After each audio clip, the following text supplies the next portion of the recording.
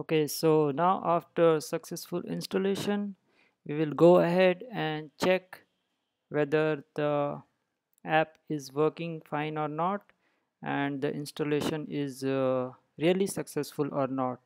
So let's go ahead and check the app.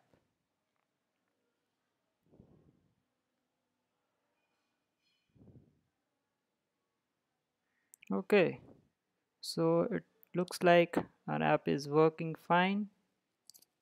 And we can see that the camera is working fine. So now just we have to code it to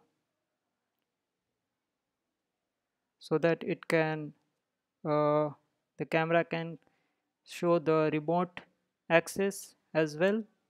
That is the remote uh, the person in the remote it, it's working locally so our uh, installation is successful.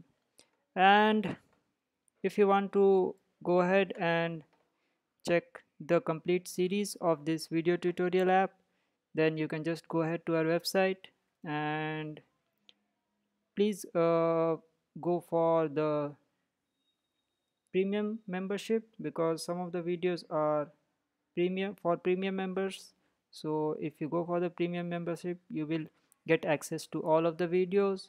And thank you guys so much for watching this video. And please do subscribe to the our video channel uh, youtube channel as well as our newsletter. And stay tuned to all the uh, great stuffs that we do on our channel and our website. Thank you so much